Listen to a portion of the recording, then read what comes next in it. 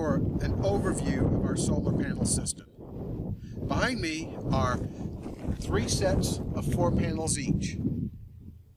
Each of these panels produces about 200 watts when the sun is shining. Right now, we have overcast, so there's less power going into the batteries.